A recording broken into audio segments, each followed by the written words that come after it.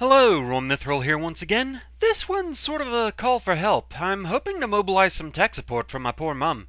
She's been having computer issues for a while now, and unfortunately it seems like it might be more a hardware related thing, and, well, I'm good at learning new software, but hardware issues, I'm pretty much useless there. So, here's the issue at hand. Her system is a Dell system running Vista 32 bit, just plain vanilla Vista. When she boots up the system, it brings up the Dell logo, and if it's working right, the Microsoft logo and loading bar should follow, and she gets to her desktop. This still happens sometimes if all the stars align, which thankfully they did during tax time, but lately it hasn't seemed to want to cooperate at all.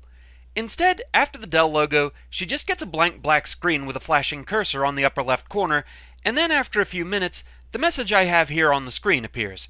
No boot device available. SATA 0 installed, SATA 1 installed, SATA 2 none, SATA 3 none. It then just stays there with the cursor flashing at the end of the message and nothing else occurs. So, pretty much that's where we are, and we're not quite sure what the trouble could be.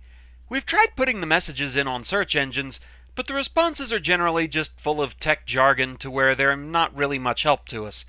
So essentially, if anyone out there knows what might be wrong here and how to fix it, and can easily tell us that, please feel free to comment. And as always, any assistance here is greatly appreciated. With that, though, that's all for now. Thank you again for listening, and I shall see you again next time. Until then, fare thee well.